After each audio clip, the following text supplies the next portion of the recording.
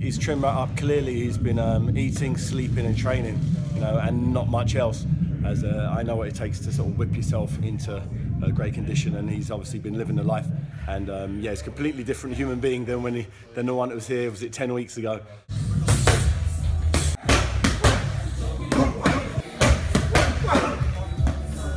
Hughie Fury's got a very awkward style, very underrated defence, and um, he could play, could sort of pose Joe a few tricks early doors until he gets to grips with things. But so, if it's all about patience, all about not getting frustrated in the heat of the battle and keeping a cool head, I think that's the, the best advice I could give. I guess uh, the UK is this is my first play in the UK. Ever felt.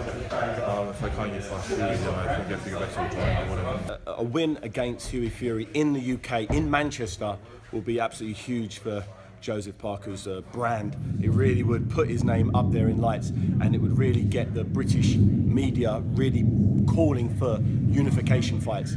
At the moment, he's kind of a, bit, a little bit of an unknown. Although he's a champion, he hasn't sort of been on these shores. He's popped over from time to time and teased us, but to come over us and show us what he's got with a, a spectacular win, that would really put his name up in lights, and it would really, uh, really call for one of the big unification fights with the likes of Deontay Wilder or, or um, Anthony Joshua. These the, the big show, show, marquee showcase names. This it really put his, his, his name into the hat.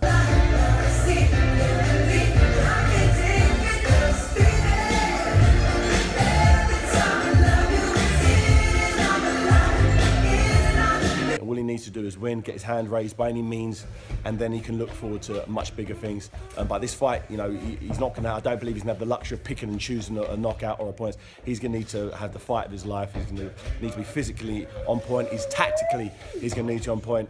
You know, um, the Fury's head coach really knows his stuff.